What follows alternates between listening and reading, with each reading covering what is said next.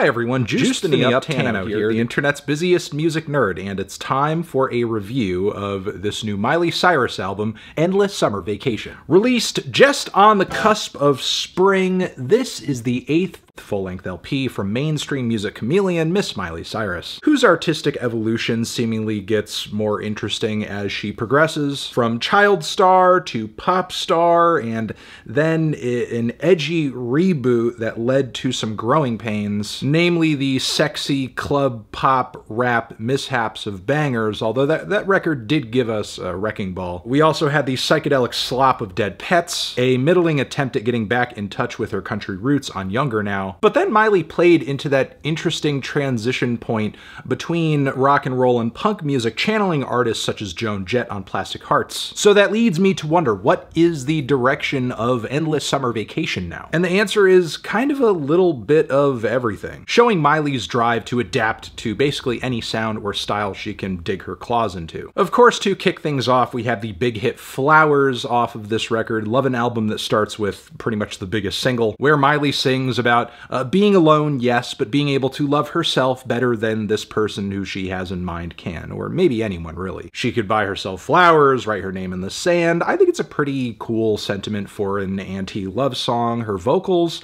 on the track are also pretty good. I think over the years, Miley's voice is showing more and more maturity, and she's really digging into that low rasp that she has at her disposal. But with that being said, I thought the instrumental, especially comparing it to many off of Plastic Hearts, just came across as too bland and polite. Like, I get that it's not a rock song, it's more of a pop track with a slight disco influence to it, but still, it doesn't mean it has to be totally texturally deficient. Meanwhile, the production on the following Jaded sounds like a top 40 take on the lazy, watery, guitar-backed indie pop of Mac DeMarco, but maybe a bit more lush on the hook. And yeah, it just comes across like a boneless imitation. Uh, once more, it's really the song and Miley's vocals that steal the show here, especially as she really pushes the volume on the chorus, Jaded! Sounding much better than that, I, I promise you. Meanwhile, rose-colored lenses is pretty much exactly what it advertises in the title a vapid Let's Live in Bliss Forever anthem with an awful sax solo at the end. Ultimately, the song doesn't say much, so I don't really retain much of it. Thousand Miles is the record's lone attempt at a country appeal here, and it's not a bad ballad. There are cute turns of phrase within it, like when Miley says that she's not always right but doesn't have time for what went wrong. The instrumental kind of sounds like a montage of the most sentimental moments from a rom-com. And again, I wish uh, given that this is a more country-centric track, that there was more texture, more twang to it, that the Brandi Carlile feature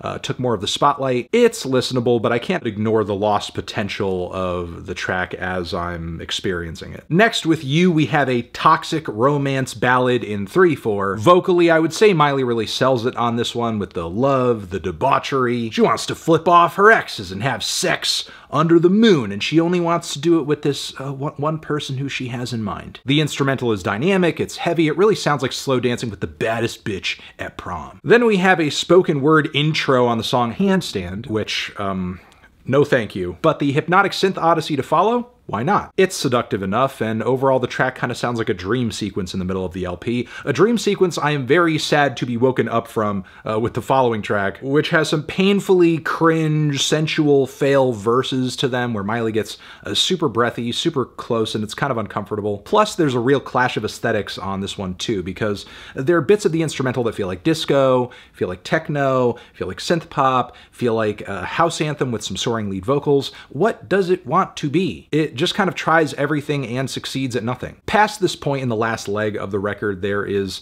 uh, very little to report, honestly. We do have kind of a rock and trap fusion on Muddy Feet featuring Sia, which, again, we have a feature that doesn't play as big of a role as I think it could have. It's really the fusion of styles and Miley's foul language on this track that grabs the most attention. There's Wild Card, which I think has one of the better narratives on the LP, where Miley paints herself as not being dependable in the game of love because, you know, she, she's a wild card, she's volatile. But the instrumental absolutely sucks and sounds really overblown most of the time, kind of like something trying to scratch an epic itch off of Lana Del Rey's Born to Die. But Miley fails at kind of achieving that grandiosity similarly because, yes, while the instrumental is huge, it also feels really toothless. The track Island is another low point on the project where it's just too on the nose, not only in terms of the lyrics, but uh, Miley and her collaborators literally try to make the song sound like something from an island or at the very least a bad tourist trap. The closing track Wonder Woman is a highlight, is a great ballad, but at, at this point it's just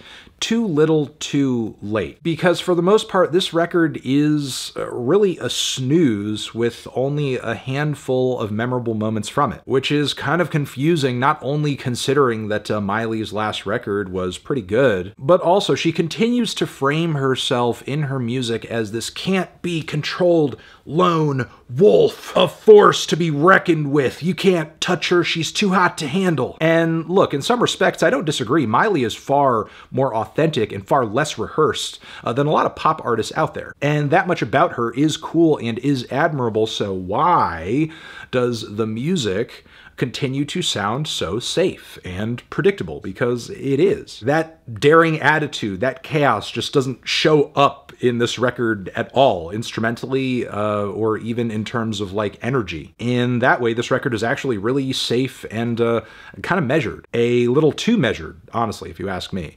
I'm feeling a decent too strong four on this one. Transition. Have you given this record a listen? Did you love it? Did you hate it? What would you rate it? You're the best you're the best. What should I review next? Hit the like if you like. Please subscribe and please don't cry. Hit the bell as well. Over here next to my head, it's another video you can check out. Hit that up or the link to subscribe to the channel. Anthony Fantano, Miley Cyrus, forever.